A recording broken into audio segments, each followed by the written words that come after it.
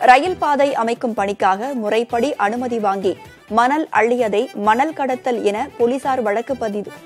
பதிவு செய்ததை ரத்து செய்ய கோரிய வழக்கில் தூத்துக்குடி மாவட்ட காவல்துறை மற்றும் கனிம வளத்துறை அதிகாரிகள் பதிலளிக்க உயர்நீதிமன்ற மதுரை கிளை உத்தரவிட்டுள்ளது. நெல்லை மாவட்டம் கூனியூரைச் சேர்ந்த ராஜன் என்பவர் தாக்கல் செய்த மனுவில் பாரத் இன்ஜினியரிங் கன்ஸ்ட்ரக்ஷன்ஸ் நிறுவனத்தின் தூத்துக்குடி மாவட்ட கிளை அதிகாரியாக தான் பணியாற்றிய போது கடந்த ஆண்டு எங்கள் நிறுவனத்திற்காக தூத்துக்குடி பூண்டொடுக்கான் கண்மாயில் சரளை மண் அள்ளுவதற்கு மாவட்ட ஆட்சியர் அனுமதி வழங்கி உத்தரவிட்டதாகவும் அதன் அடிப்படையில் கண்மாயிலிருந்து சரளை மண் அள்ளி மணியாச்சி நாகர்கோவில் இடையிலான ரயில்வே மேம்பாட்டு பணிகளுக்கு பயன்படுத்தியதாகவும் குறிப்பிட்டுள்ளார். இதனை சட்டவிரோத மணல் கடத்தல் என கனிமவள அதிகாரிகள் வழக்கு பதிவு செய்ததாகவும் தெரிவித்துள்ளார். எனவே ஆதாரமின்றி